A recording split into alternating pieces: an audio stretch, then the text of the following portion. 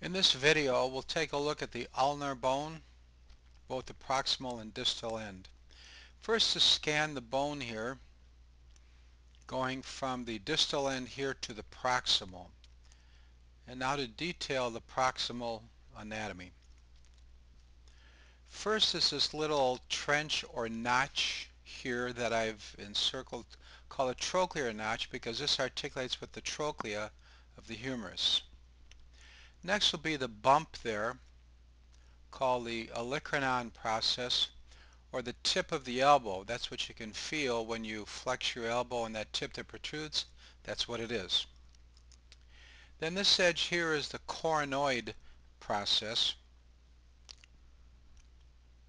This will articulate with the humerus. Now we go to the distal end and looking down here this is the diaphysis again, typical of all long bones, also called the shaft.